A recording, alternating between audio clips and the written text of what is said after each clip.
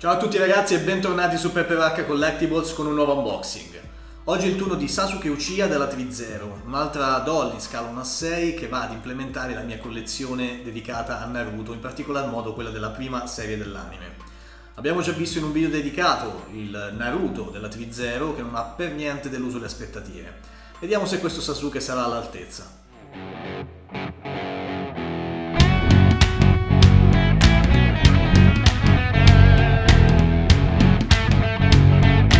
Il box art è molto simile a quanto già visto con Naruto, molto piccolo dalle dimensioni tali da contenere la doll e pochi accessori al suo interno. Con un front molto artistico raffigurante Sasuke durante l'utilizzo del Chidori su uno sfondo di colore blu notte molto rappresentativo per il personaggio. Nella parte inferiore del front l'immancabile logo di Naruto su uno sfondo blu elettrico con un motivo che ricorda molto le onde giapponesi che troviamo in molte rappresentazioni artistiche. Il retro della scatola presenta il solito riepilogo del contenuto con la doll e qualcuno degli accessori che troveremo al suo interno.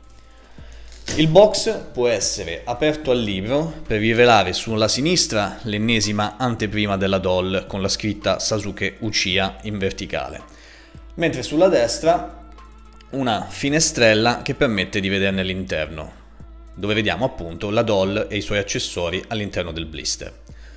Non ci resta adesso, come al solito, che rivelarne il contenuto, iniziando proprio dagli accessori. La lista di accessori è davvero molto breve, abbiamo due volti intercambiabili, qualche paio di mani, l'effetto Chidori, due kunai e il Fuma Shuriken. I volti intercambiabili sono due, tre incluso quello montato sulla doll, e rappresentano in tutto e per tutto, in modo fedele, il Sasuke dell'anime che tutti conosciamo, a partire dalla colorazione della pelle, molto chiara, fino alla resa dello Sharingan che viene verniciato alla perfezione senza alcuna sbavatura. L'unica pecca, secondo me, è la mancanza di un minimo di profondità in questi occhi che sembrano davvero stampati sulla, mm, sul volto. Buone invece le espressioni, in questo caso il sorriso appena accennato di Sasuke in segno di sfida, e qui invece un'espressione un po' più impegnata durante l'utilizzo di una tecnica o comunque in combattimento. Per quanto riguarda le mani, ne abbiamo diverse paia.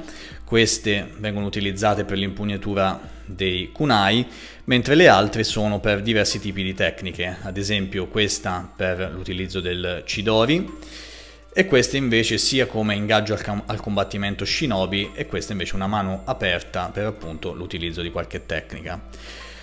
Altre mani speciali sono questa per l'impugnatura del Fuma Shuriken che vedremo fra poco e queste invece sono le due mani giunte che come vedete hanno la possibilità di essere inserite in entrambe le braccia tramite peg che vanno a formare il sigillo del serpente, anche questo per l'utilizzo di qualche tecnica.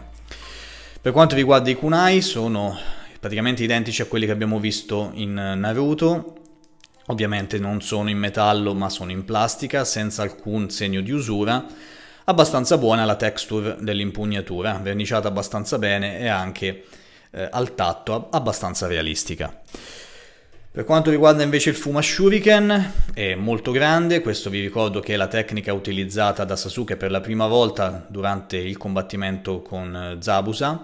Anche questo è in plastica, non è in metallo, le punte sono abbastanza appuntite, ovviamente non c'è filo e anche qui vi è la completa assenza di segni di usura o comunque di realismo per quanto riguarda la resa del metallo. Questa è la mano, come vi dicevo, che viene utilizzata per l'impugnatura, adesso non la farò, però questa più o meno è la resa finale con la mano inserita. Per quanto riguarda l'ultimo accessorio, che è l'effetto Chidori, viene reso abbastanza bene e la colorazione è abbastanza buona, ci sono sfumature di blu tendenti all'azzurro con qualche punta di bianco e molto appuntite le parti finali di questo Chidori e nella parte interna vi è una sorta di piano d'invito per andare poi a inserire la mano facendola scorrere in questo modo per farla rimanere in posizione. E quindi poi andrà montata sulla doll per dare appunto l'effetto del caricamento del Chidori da parte di Sasuke. Passiamo adesso all'analisi della doll, a partire dalla testa, con questa che è la terza ed ultima espressione di questi volti intercambiabili di Sasuke, un'espressione molto più cupa e misteriosa come giustamente si confà al personaggio in questione. occhi privi di Sharingan in questo caso, ma ritorna sempre quella sensazione di piattezza e di disegno stampato sul volto che secondo me avrebbe meritato qualcosina in più a livello di dettaglio. Così come lo sculpt di questi capelli, molto buona la forma, molto rappresentativa di quello che è il personaggio, ma questa suddivisione così netta tra la parte posteriore e anteriore secondo me è molto sgradevole alla vista. Buona invece la realizzazione del coprifronte con la verniciatura color metallo e il simbolo di Konoha. Andando più verso il basso troviamo l'abbigliamento, la maglietta classica blu di Sasuke con il colletto che è cablato, quindi fil di ferro all'interno per poterne modificare la forma a nostro piacimento. Una cura del dettaglio molto buona questa, non è da sottovalutare, così come questa piccola chicca, ovvero la presenza del segno maledetto disegnato, stampato sul corpo e sul collo di Sasuke. Andando verso il basso troviamo sulle braccia questa sorta di, para, di copri avambracci che volendo possono essere sfilati andando a rimuovere le mani. Sulle articolazioni ovviamente ne parleremo fra poco perché ho qualcosina da dire. Andando invece verso il basso i pantaloncini di questo bianco grigiastro e le borse, entrambe, sia questa sul retro sia questa sul cosciale, insomma per portare i kunai, di plastica dura e impossibili da aprire ovviamente, sono un unico pezzo. Andando ancora più verso il basso abbiamo il copri tibie, come fossero delle fasciature, anch'essi molto ben realizzati e le classiche scarpe, classici sandali che abbiamo visto anche in Naruto. Adesso vediamo un pochino le articolazioni a partire dalla testa che può ruotare ovviamente sul, su tutti gli assi a 360 gradi, anche verso l'alto e verso il basso in questo modo. Mobilità delle braccia permette di ruotare anch'esse di 360 gradi, ma non lo farò per non stressare troppo le articolazioni.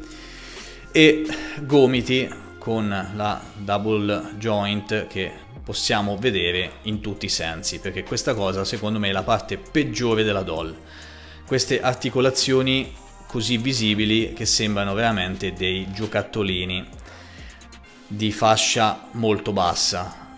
Ovviamente la doll deve essere articolata ma queste articolazioni la scelta di questo stile di articolazioni a me non piace ragazzi per niente. Così come appunto quelle delle ginocchia, come si può notare, che in pose diciamo un po' più estreme sembra veramente di avere in mano un giocattolino, come già ho detto per esempio per le Sage Figures di Naruto. Purtroppo questo è un brutto difetto, secondo me, per quanto riguarda l'estetica, che in una doll 1 a 6 sarebbe potuta essere resa molto meglio. Guardate anche nella parte posteriore come sono visibili queste articolazioni, sono davvero molto brutte dal punto di vista estetico. Una cosa che avevo dimenticato di dire prima, ovviamente il simbolo del ventaglio del clan Uchiha, molto ben riportato ed è quello che sembra essere una sorta di adesivo, ovviamente non è cucito sulla maglietta. Per quanto riguarda articolazioni del busto, può essere ruotato in, uh, di più o meno 180 gradi su quest'asse, può essere piegato in avanti e indietro. Le gambe, anche qui, vengono limitate solo nella parte posteriore dalla presenza del, del sedere, insomma. E per quanto riguarda le caviglie, i piedi possono essere ruotati a 360 gradi, mobilità anche del collo del piede in su e in giù, ma sempre punta del piede che non può essere articolata. Ecco l'immancabile confronto con gli altri personaggi del brand. Abbiamo Naruto della Trizero, che è leggermente più basso rispetto a Sasuke, e poi il fratello Itachi, Rocket Toys e Kakashi. Questo scaffale di Naruto diventa sempre più bello e più pieno di personaggi.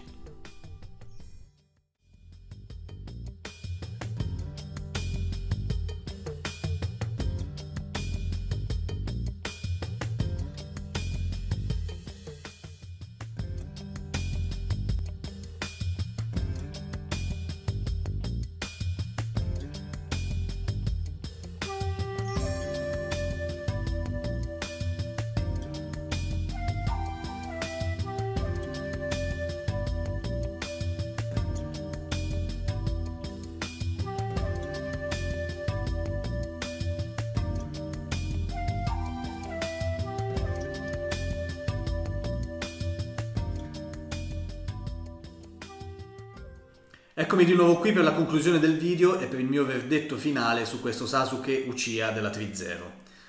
Il mio voto è un 7,5 anche molto risicato, vi spiego subito perché.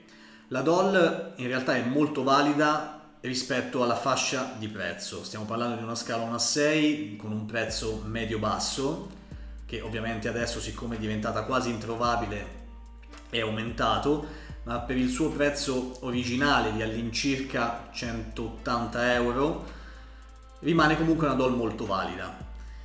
C'è una cura del dettaglio per alcune parti, come ad esempio alcuni accessori, sebbene una grave mancanza è quella sempre della basetta, così come per Naruto, sempre della Trizero. La presenza del segno maledetto sul collo e altri piccoli dettagli che comunque la valorizzano tanto.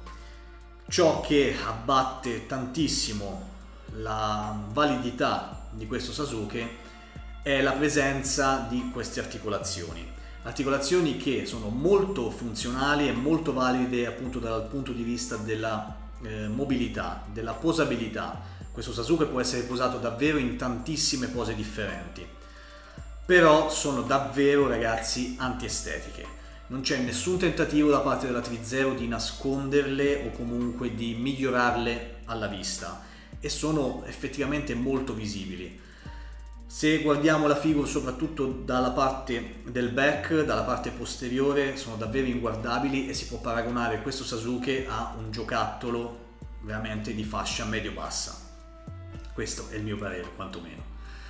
Quindi tutto il resto ottimo, avrei gradito un maggiore dettaglio eh, nello, nella faccia, nel viso e negli occhi per rendere il tutto un po' più realistico, un po' più vivo e anche per quanto riguarda il dettaglio delle labbra che sono veramente poco visibili. Già la carnagione di Sasuke è molto chiara, più le labbra, soprattutto ad esempio con questo volto, sono davvero poco visibili. Per tutto il resto comunque ragazzi rimane una doll valida e un'ottima aggiunta alla collezione. Naruto, sempre della 3-0, secondo me è parecchio superiore. Probabilmente questa superiorità è data dal fatto che Naruto abbia una tuta con maniche lunghe sia per i pantaloni che per la giacca e quindi queste eh, giunzioni, queste articolazioni non sono visibili. Ho avuto anche qualche problemino per quanto riguarda i peg, si è rotto uno quando ho cambiato la mano, nonostante la delicatezza che sapete mi contraddistingue nel trattare le mie doll, però è quello che è insomma. Detto questo ragazzi mi sono dilungato anche troppo, vi chiedo scusa, vi ricordo che l'ho acquistata dal Colosso dei Nerd che è riuscito miracolosamente a recuperarmene una copia, quindi lo ringrazio ancora una volta. Fatemi sapere voi che cosa pensate sia della doll che del video, se c'è qualcosa da cambiare o preferireste che facessi qualcosa di diverso da quello che faccio, fatemelo sapere e ci vediamo come sempre ragazzi a un prossimo video. Ciao ragazzi, a presto!